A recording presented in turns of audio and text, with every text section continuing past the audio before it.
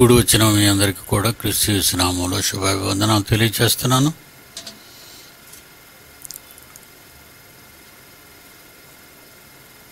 ఈ సమయంలో యోహాను సువార్త. పదకొండో అధ్యాయం.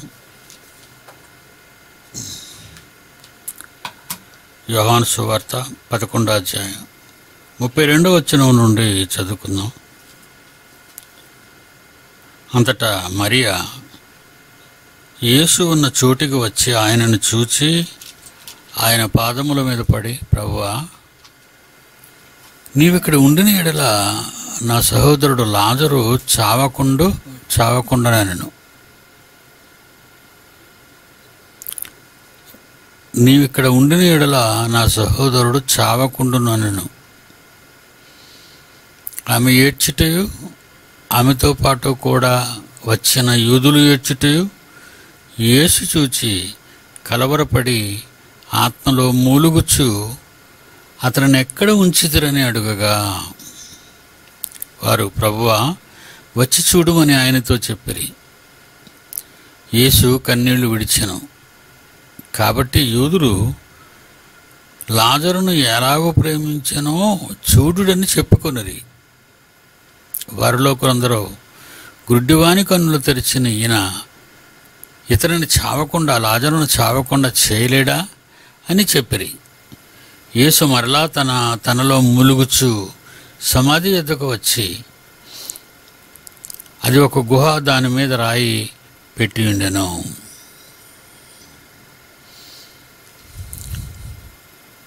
ముప్పై తొమ్మిదో వచ్చును యేసు రాయి తీసివేయడని చెప్పగా చనిపోయిన వాని సహోదరి అయిన మార్త ప్రభువా అతడు చనిపోయి నాలుగు దినములైనది గనుక ఇప్పటికి వాసన కొట్టునని అతనితో చెప్పాను.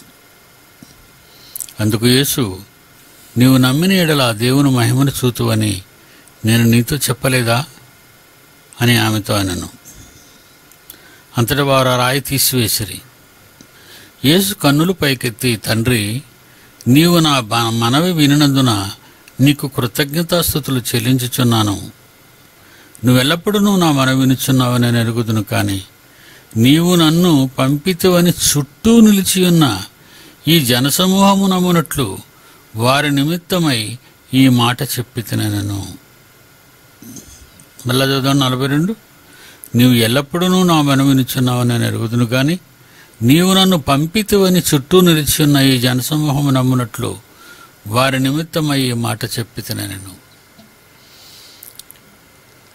ప్రభు అయిన యేసు జీవించిన కాలంలో కూడా యేసు చేసిన ఎన్నో అద్భుతాలు చనిపోయిన వారిని లేపడం కానివ్వండి. వేల మందికి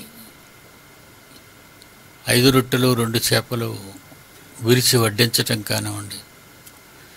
సముద్రం మీద నడవటం కానివ్వండి. చనిపోయిన వారిని లేపడం కానివ్వండి అందరూ చూస్తున్నారు. కానీ యేసును నమ్మలేదండి. ఆనాటి నుంచి ఈనాటి వరకు ప్రపంచంలో ఉన్న మనుషులందరూ కళ్ళారా చూసి దేనిని నమ్మరండి? వీళ్ళకి ముందు పూర్వీకులు ఇస్రాయేలీలండి. వాళ్ళకు ముందున్న పూర్వీకులు ఇస్రాయేలీలు. ఇస్రాయేలీలు కూడా ఎన్ని అద్భుతాలు ఫరో ఎదుట మోషే ద్వారా దేవుడు చేసినా వాడు కూడా నమ్మలేదండి. అసలు దేవుడు ఎందుకు నమ్మటం లేదండి? అది మన ప్రశ్న. ఈరోజు మన కళ్ళ ముందు ఏమి జరగటం లేదండి. చనిపోయిన వారిని ఎవరు బ్రతికించటం లేదు. ఎవరికైనా ఉన్న రోగాలను తీసివేయటం లేదు. అద్భుతాలు సూచక్రియలు జరగటం లేదు. ఇంకా అన్ని చూసిన వారే నమ్మకపోతే ఏమీ చూడని వీళ్ళు నమ్ముతారా? అన్నీ చూసిన వారే కన్నతండ్రిని నమ్మని వారుగా ఆ కాలంలో ఉన్నారు వాళ్ళు. ఏమీ చూడని మనం నమ్మగలవా దేవుణ్ణి? నిజంగా అండి మాతా మరియా సహోదరుడు లాజరు చనిపోయాడు. చనిపోతే మరి ఆ మంటుంది నా సహోదరుడు నీవిక్కడ ఉండిన ఎడల చావకుండున నేను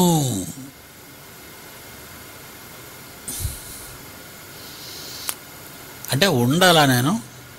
నేనుంటే నమ్ముతారా? నేనుంటే ఆయన బ్రతికుంటాడా? చూడండి ఎలాంటి మాటలు ఎంత క్లోజ్ రిలేషన్ అండి యేసుక్రీస్తుతో ఎక్క అక్క చెల్లెలిద్దరూ ఆ చిన్న కుటుంబం లాజర్ని సహోదరులకు కలిగిన మారియా మరియా మార్తలు. వీళ్ళు యేసుని అనుమానిస్తున్నారండి. యేసుని అనుమానిస్తున్నారు. ఇక యేసు పరిస్థితి చూడండి వీళ్ళు అనుమానించే పరిస్థితిని ఆయన మనస్సులో పెట్టుకుని యేసుక్రీస్తు వారు. ఆయన వీళ్ళు అనుమానించే పరిస్థితిని ముప్పై మూడులో ఆమె ఏడ్చుటయు ఆమెతో కూడా వచ్చిన యూదులు ఏడ్చుటయు యేసు చూసి కలవరపడి ఆత్మలో మూలుగుచు ఆత్మలో మూలుగుతున్నాడట ఆయన. అంటే వాళ్ళు ఏడుస్తున్నారని యేసుక్రీస్తు ఏడుస్తున్నాడా? కాదండి. చనిపోయిన వారిని లేపటం అనేది యేసుక్రీస్తుకు పెద్ద పని కాదండి. ఆయన నోటి మాట చాలు. చనిపోయిన వారిని లేపడానికి మరి మూలగుట్టు ఎందుకు? ముప్పై మూడులో ఆమెతో కూడా వచ్చిన యూదులు ఆమె ఏడ్చుటయు ఆమెతో కూడా వచ్చిన యూదులు ఏడ్చుటయు చూసి యేసు కలవరపడే ఆత్మలో మూలుగుచ్చు. ఆయన మూలుగుతున్నాడంటే వీళ్ళ విశ్వాసానికి మూలుగుతున్నాడండి ఏమండి? మంచి మంచి వాక్యాలు అర్థాలు మీకు చెప్తుంటాం. తరగతుల్లో కానివ్వండి ఆరాధనలో కానివ్వండి. మార్పు అనేది వచ్చిందా అని మనం ఆలోచిస్తే మార్పు రాదండి. ఏదో వస్తాం వింటాం కానుకిస్తాం వెళ్ళిపోతాం. అది తప్ప మార్పు అనేది ఎలాగైతే మనిషిలో రాదో ఉండదో చూసిన వాళ్ళే లేకుండా పోయినప్పుడు ఏమీ చూడను మనమేమైపోతాం? నిర్లక్ష్యంగా ఉంటాం. పట్టించుకోండి. దేవుని గురించిన ఏదైనా మనం పట్టించుకోం. ఆయనను నమ్మని పరిస్థితి దేవుణ్ణి నమ్మకపోతే యేసుక్రీస్తు ద్వారా తండ్రి అయిన దేవుణ్ణి నమ్మకపోతే మన గురించి ఏం జరుగుతుందట ఆయనలో? ఆయనలో ఏం జరుగుతుందట? యేసు చూచి కలవరపడే ఆత్మలో మూలుగుచ్చు. మనలో మార్పు లేకపోతే ఆయన మూలుగుతాడు అని ఉందండి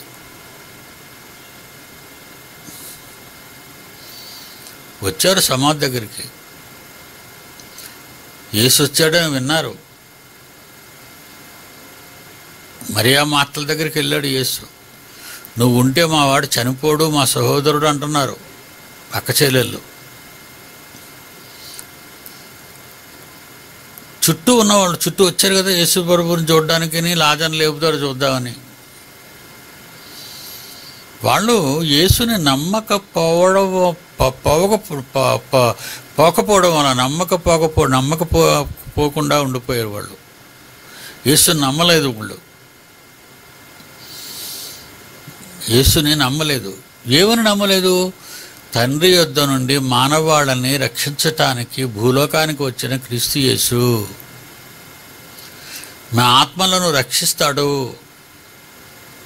మేము మరణించినా తిరిగి మమ్మల్ని లేపుతాడు. లాజర్ లేపినట్టు కదండి. పునరుద్ధానం. మనమంతా మరణిస్తాం.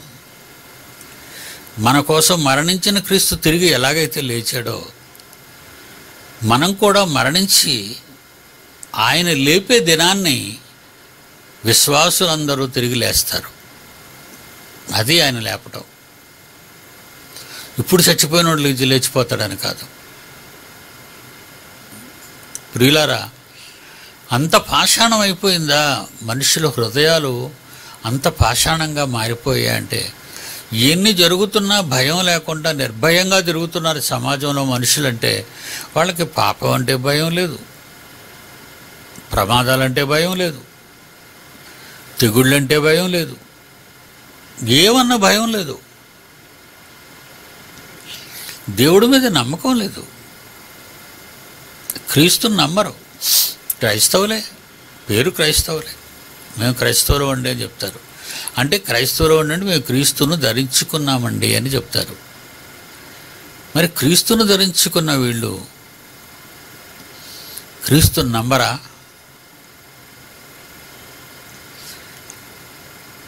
క్రీస్తు మూనగాల మీకోసం? మూలు మూలుగు అనేది ఎప్పుడు వస్తుందో తెలుసండి? ప్రియులు చనిపోయినప్పుడు. మనకు కావలసిన వాళ్ళు మన ప్రియులు మనం అతిగా ప్రేమించిన వాళ్ళు ఎవరైనా చనిపోయినప్పుడు ఏడ్చి ఏడ్చి ఏడ్చి ఏడ్చి ఏడ్చి మూలుగుతామండి. మూలుగు అనేది ఎప్పుడు వస్తుందో తెలుసా?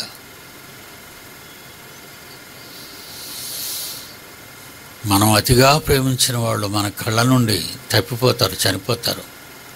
అప్పుడు ఏడ్చి ఏడ్చి ఏడ్చి గొంతు ఎండి గొంతు ఎండిపోయి ఏడవలేక అలసిపోయి ములుగుతారండి అదే మూలుగు దేవుడు కూడా క్రీస్తు కూడా పరిశుద్ధాత్మ దేవుడు కూడా తండ్రి కూడా మన కోసం ప్రార్థిస్తూ ఉచ్చరింప శక్యము కాని మూలుగులతో అంటాడండి. మూలుగు మన కోసం రోమపత్రిక ఎనిమిదో అధ్యాయం ఇరవై ఆరో వచ్చును రోమపత్రిక ఎనిమిదో అధ్యాయం ఇరవై ఆరో వచ్చును అటువలే ఆత్మయు మన బలహీనతను చూసి ఆత్మదేవుడు పరిశుద్ధాత్మదేవుడు మన బలహీనతను చూచి మన బలహీనతను చూచి మన బలహీనతను చూచి మన అవిశ్వాసాన్ని చూసి మన విధేయతను చూసి మన మొండితనాన్ని చూసి మన నమ్మని స్థితిని చూసి ఆత్మదేవుడు పరిశుద్ధాత్మదేవుడు మన బలహీనతను చూసి మన బలహీనతను చూచి సహాయము చేయుచు సహాయము చేయుచున్నాడు. ఏంటి ఆ సహాయం? ఎలయనగా మనము యుక్తముగా ఎలాగూ ప్రా- అసలు ఎలాగ దేవునికి చెప్పుకోవాలో తెలియని వాళ్ళం మనమంతా.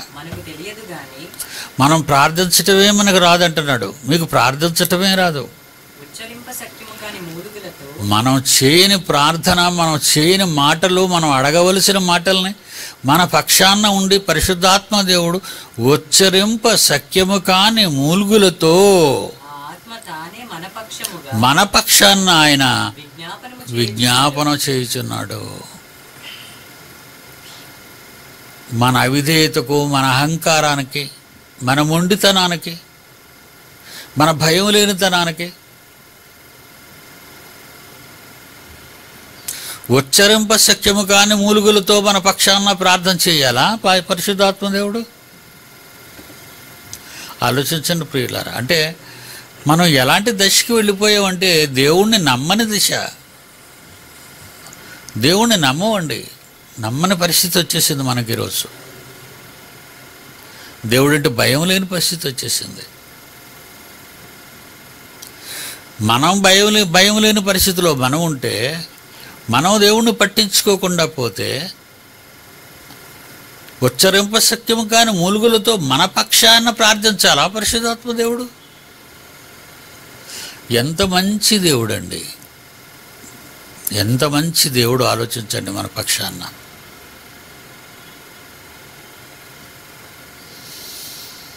ఇదే మూలుగు యేసుక్రీస్తు. అదే మూలుగండి. వాళ్ళు ఏడ్చిటయు తమతో కూడా వచ్చిన యూదులు ఏడ్చిటయు ముప్పై మూడో వచనంలో యేసు చూసి యోహాను పదకొండు ముప్పై మూడు యేసు చూచి కనికరపడి ఆత్మలో మూలుగుచు వాళ్ళ మీద జాలిపడి మూలుగుతున్నాడట. తండ్రి వీళ్ళు నన్ను నమ్మటం లేదయ్యా. లాజరు చచ్చిపోయాడని నమ్ముతున్నారయ్యా. లాజరు చచ్చిపోయాడని ఏడుస్తున్నారయ్యా వాళ్ళు. మృతులను సైతము లేపగలను అనే సంగతి వాళ్ళకు తెలిసినా నన్ను నమ్మని స్థితిలో ఉన్నారు ప్రభువ. తండ్రిని తండ్రిని అడుగుతున్నాడండి యేసుక్రీస్తు వారు. నన్ను నమ్మని స్థితిలో ఉంది ప్రపంచం. చివరికి ముప్పై నాలుగో వచనంలో యేసు కన్నీళ్ళు విడిచానంద చూడండి. యేసు కన్నీళ్ళు విడిచిపెట్టాడట. వీళ్ళ మూర్ఖత్వానికి వీళ్ళ అవిధేయతకి వీళ్ళ అవిశ్వాసానికి ఆయనకి కన్నీళ్ళు వచ్చాయండి. లాజరు చచ్చిపోయాడని కాదండి. లాజరు మరణించాడని క్రీస్తు కన్నీరు రాలేదండి. వీళ్ళ అవిశ్వాస అవిశ్వాసానికి కన్నీరు వచ్చింది. వీళ్ళ అవిధేయతకు కన్నీరు వచ్చింది వీళ్ళ నమ్మని పరిస్థితి వలన కాని కన్నీరు వచ్చింది ఎప్పుడు బాగుపడుతుంది ఈ వ్యవస్థక? ఆదివారం గుడికెళ్ళి ఒక గంట గంటన్నర కూర్చొని ఇంటికి వెళ్ళిపోతే భక్త? దేవుని కోసం ఏం చేస్తున్నావు ప్రతిరోజు?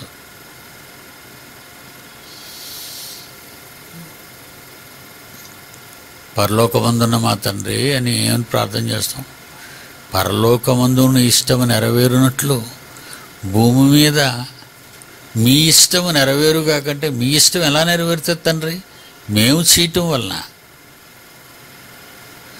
భూమి మీద పరలోకమందు నీ ఇష్టం ఎలా నెరవేరుతుందో అధికారం కోటాను కోట్ల. దేవదూతల మధ్య మీరు ఎంతగా మీరున్నారో మీ ఇష్టం నెరవేరుతుందో ఆ లోకంలో భూమి మీద కూడా మనుష్యుల మధ్య మీ ఇష్టం నెరవేరాలి.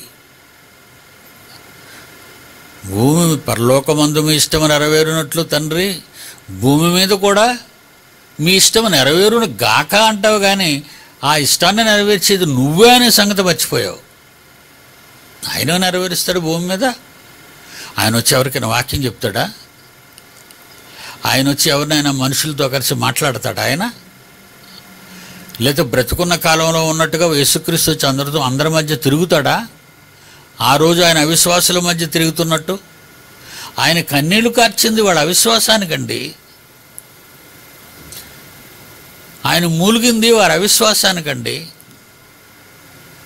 దానికి వాళ్ళు ఏమనుకుంటున్నారు ముప్పై ఐదో వచనంలో యూదులు అతనిని ఎలాగూ ప్రేమించునో చూడుడని చెప్పుకొని ఆయన ఏడుస్తుంటే ఈ చనిపోయిన లాజరు గురించి ఏడుస్తున్నాడు అంటున్నారండి వాళ్ళు. చూసారా ఎలాగా? అలాగే. ఇంకా అసలు అర్థం కాలేదండి వాళ్ళకేమని. చనిపోయిన లాజరు గురించి ఒకవేళ ఏడిస్తే పదండి మనం ఆయన లా- లాజర్ని లేపుదామని సమాధి దగ్గరకు తీసుకొస్తున్నాడు కదండి వాళ్ళందరినీ వాళ్ళందరూ సమాధి దగ్గరికి వస్తున్నారు కదా. మార్తా మరియులు యేసు యూదులు. వాళ్ళందరూ సమాధి దగ్గరికి వెళ్తున్నారు కదండి లాజర్ని లేపడానికి.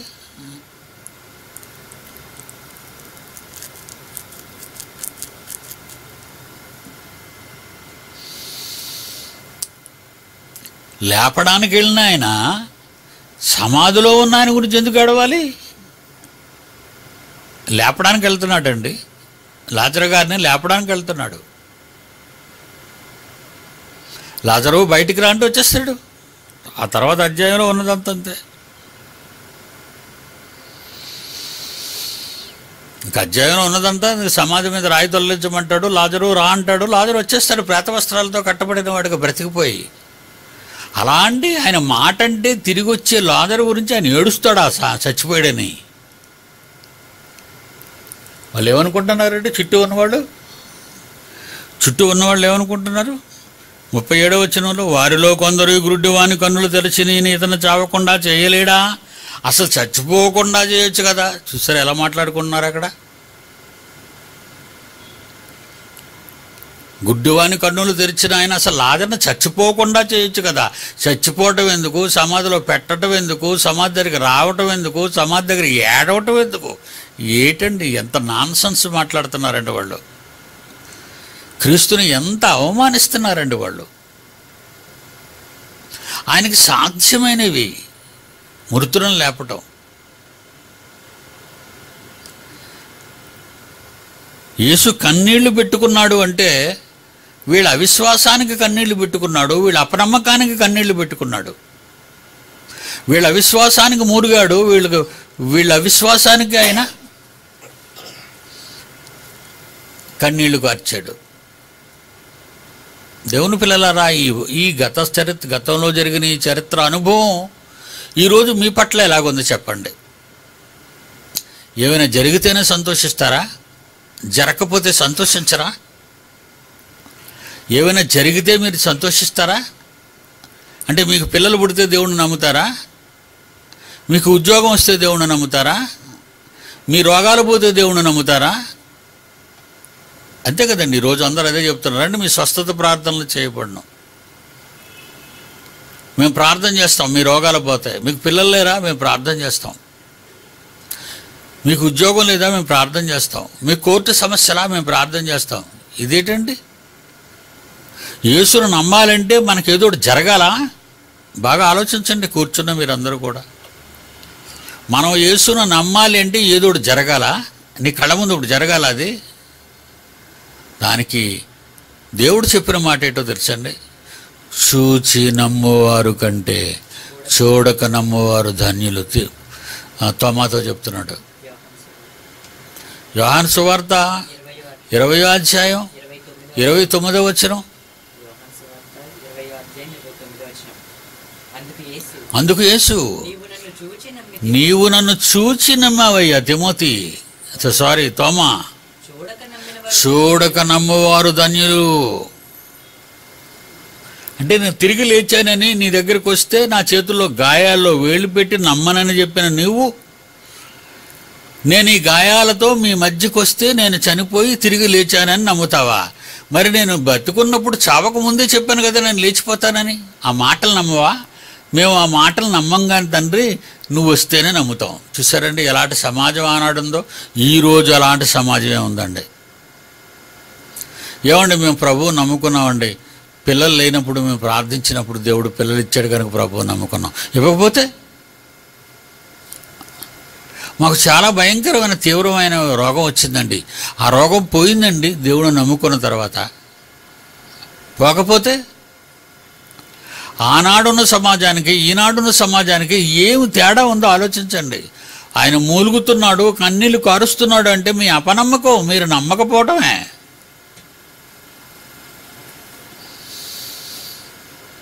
వద్దండి. చాలా దుఃఖపెడుతున్నామండి.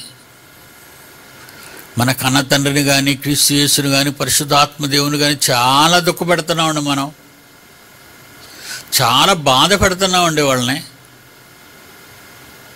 దేనిని బట్టి మిమ్మల్ని చూసి సంతోషించగలడు ఆయన? గుడికొస్తే సంతోషపడిపోతాడా? దేవుని వాక్యం విని జీవిస్తే సంతోషపడతాడా? దేవుని వాక్య ప్రకారము విశ్వాసమై జీవించినప్పుడే ఆయన సంతోషపడతాడు తప్ప. ఆదివారము గుడికి వెళ్ళవలను అనే ఒక ఒక నానుడి బట్టి నువ్వు దేవుని సన్నిధికి వచ్చి వెళ్ళిపోతున్నావంటే విన్న మాటలేంటి విన్న మాటల్లో ఉన్న అర్థాలేంటి ఆ అర్థాలకు నీ జీవితాన్ని మార్చుకునే విధానం ఏంటి? ఇవన్నీ లేకపోతే మీరు వచ్చి ప్రయోజనం ఏంటి చెప్పండి? ఏమండి మీ వేలకు వేలు ఇమ్మని మేము అడగటం లేదండి.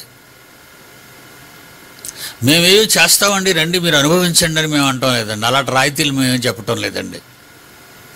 భోజనాలు పెడతామండి ఆరాధన అయిపోయిన తర్వాత అని మేమేం చెప్పటం లేదండి. ఆరాధన అయిపోయాక భోజనాలు పెట్టేవాళ్ళు ఎందరో ఉన్నారండి. అంటే అక్కడ దేవుని గురించి కాకపోయినా భోజనాల గురించైనా వచ్చేస్తారండి. అందుకే అక్కడ జనాలు విపరీతంగా ఉంటారు. తిండి. వారి కడుపే వారి దేవుడు. కనుక ఆ దేవుడి గురించి వస్తారు తప్ప నిజ దేవుడి గురించి రారు. ఆయన మాటలు వినడానికి కాదు. ఆయన మాటలు విని జరిగించటానికి కాదు బ్రతుకులు మార్చుకోవటానికి కాదు.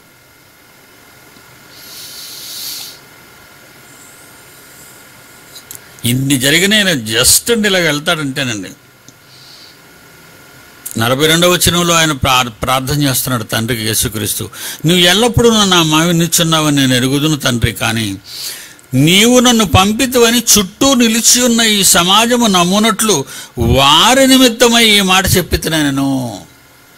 వీళ్ళు నమ్మాలి తండ్రి. వీళ్ళు నమ్మరు తండ్రి. వీళ్ళు నమ్మరు యేసుక్రీస్తు చె బాధపడుతున్నాడండి తండ్రికి ప్రార్థన చేస్తూ. వీళ్ళు నమ్మరు తండ్రి. వీళ్ళు నమ్మరు ఈ జనసమూహములు నమ్మునట్లు నీవు ఎల్లప్పుడూ నా మనవి వినుచున్నావని నేను ఎరుగుదు. నాకు తెలుసు తండ్రి నీ సంగతి. నీవు నన్ను పంపితవని చుట్టూ నిలిచి ఉన్న ఈ జనసమూహము నమ్మునట్లు వారి నిమిత్తమై ఈ మాట చెప్పితనని చెప్పి ఆయన ఇలాగో చెప్పి లాజరు బయటకు రమ్మని పలకగా చనిపోయినవాడు కాళ్ళు చేతులు ప్రేత వస్త్రములతో కట్టబడిన వాడే వెలుపలకు వచ్చెను. అతని ముఖం రుమాలు కట్టి ఉండను. అంతట యేసు మీరు అతని కట్లు విప్పు పోనీయడిన వారితో చెప్పాను. బ్రతికించడం ఆయనకి సమస్య కాదండి. ఆయనను చుట్టూ ఉన్నవాళ్ళు నమ్మకపోతే ఈవెన్ లాజరు సహోదరిమణులు కూడా నువ్వు ఇక్కడ ఉంటే మా మా మా బ్రదర్ చచ్చిపోయేవాడు కాదు తండ్రి. ఏంటండి ఆ మాటలు? యేసుని అవసరాల కోసం నమ్ముకుంటావా? నీ అవసరాల కోసం యేసుని నమ్ముకుంటావా? తప్పు చేస్తుంది ప్రపంచం.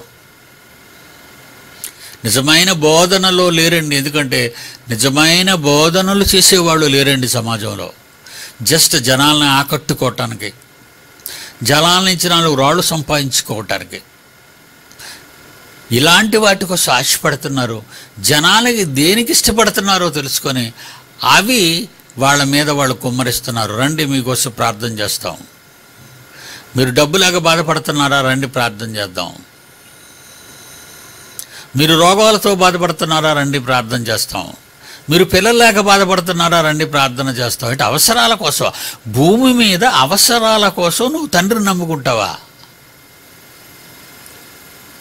ఎంత తప్పు చేస్తున్నారో తెలుసండి. చాలా తప్పు చేస్తున్నారు. దయచేసి వింటున్న మీరు జాగ్రత్తగా ఆలోచించండి. ఇది ఎంతవరకు నిజమని ఆలోచించండి. బైబిల్లో ఉన్నదేంటి? మనుషులు జరిగిస్తున్నదేంటి? ఒక్కసారి మీరు మీ బుర్ర పెట్టి ఆలోచించండి. God bless you.